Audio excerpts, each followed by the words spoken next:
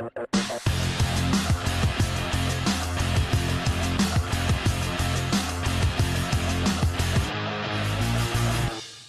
Привет! И начнем мы с новостей экономики. На этой неделе первый зампред Центробанка Сергей Швецов посоветовал россиянам в кризис не покупать себе по несколько телевизоров. Блин, ну вот как так? Купила сегодня 7 телевизоров, завтра еще хотела 3-4 докупить, а оказалось, что не надо. Есть же еще и переносные телевизоры, вот их бы еще десяток другой килограмм накупить, а лучше мешок сразу, чтобы потом в магазин не бегать. А то бывает, что всю ночь с друзьями телек смотрел, просыпаешься на утро, хочется хотя бы минутку на Киселева поглядеть, приходится сына в Эльдорадо посылать. Вообще мне нравится, как Центробанк дает умные советы. Последний раз на моей памяти он советовал вам не покупать доллар по 35, потому что тогда вы потеряете деньги. Сейчас Центробанк советует не покупать телевизоры, может он что-то знает и телевизоры скоро станут мировой резервной валютой. Но вообще телевизор, конечно, самая бесполезная покупка в кризис. Если все будет действительно плохо, то телевизоры начнут возить прямо по улице, как в Крыму, без программы время вас точно не оставят, поверьте. Ну и надо сказать, что в целом жители России послушали Центробанк и скупили вместо телевизоров вообще все Ламборгини, которые были привезены в Россию на год вперед. В следующей партии надо попросить концерн встраивать в свои автомобили телевизоры. Россияне бы тогда сразу двух зайцев убили.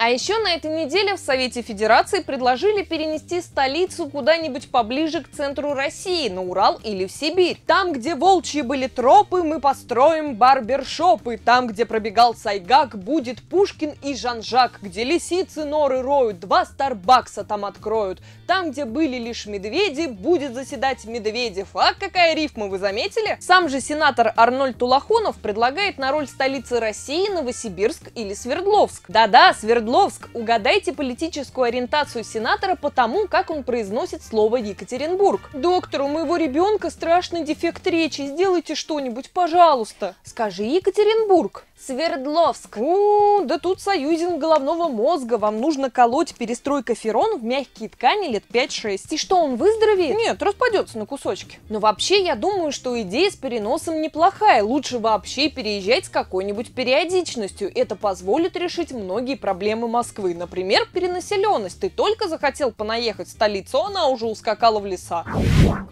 А еще на этой неделе суд в Карелии признал, что пословицы «закон, что дышло, куда повернешь, туда и вышло» и «законы святы да законники лихие супостаты порочат честь и достоинство полиции». Суд обязал местную газету «Северные берега», которая напечатала названные пословицы в одном из своих номеров, опровергнуть их. Писать опровержение для пословиц – это, конечно, новое веяние в русской культуре. Как-то до этого раньше никто не додумывался. Вообще, рассмотреть в этих пословицах конкретно полицию полицию, это нужно иметь большой талант. Я думаю, что в других пословицах суду тоже везде полиция мерещится. Полиция от милиции недалеко падает. Семеро с сошкой, а полицейский с ложкой. Пришла полиция, отворяй ворота. Не обманешь, не полицейский. Полицейский полицейскому глаз не выклюет. В тесноте да не в полиции. Незваный гость хуже полицейского. Ты ему слово, он тебя в полицию. Под лежачего полицейского вода не течет. Не красна изба углами, а красна изба ментами. Любишь Хочешь кататься, люби и гаишнику платить. И, наконец, не выноси мусора из избы. После опровержения пословиц России ждут и другие увлекательные мероприятия. Споры с частушками, критика поговорок, разоблачение народных песен и дискредитация хохломы.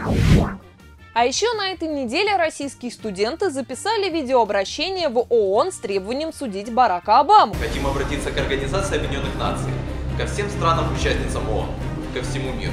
Мы не понимаем и не хотим понять, почему Соединенные Штаты Америки взяли на себя роль всемирного судьи и палача. И просим Гаагский трибунал расследовать действия Барака Обамы. Правда, например, в Саратовском вузе сказали, что не знают этих людей. Оказалось, что это просто молодогвардейцы, которые снимаются на фоне вуза, но не учатся в нем. Не понимаю тогда, зачем такие сложности? Ну встаньте у здания ООН, представьтесь Пан Гимуном и скажите, что отправляете Обаму под трибунал. Потом короткая запись у Гаагского суда, где вы приговорите Обаму к отсидке в Гуантанамо и все, получите 500 рублей и идите в Макдональдс. Ну и да, Вернадский пишется с одной «Н». Такая неделя, такие новости. С вами была Марина Мизинова. Подписывайся на наш канал. Увидимся через неделю.